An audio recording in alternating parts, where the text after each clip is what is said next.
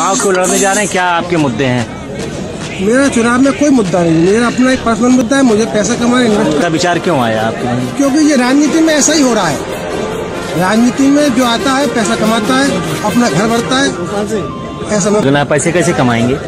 को जो विकास कार्य के लिए पैसा आता है उसमें ट्वेंटी फाइव परसेंट तो होता ही है। ये है और कई तरह से काम होते हैं। जो मुझे कुछ लोग बताएँगे, अभी तो मुझे इतनी नॉलेज नहीं है कि पैसा किस तरह कमाया जाएगा।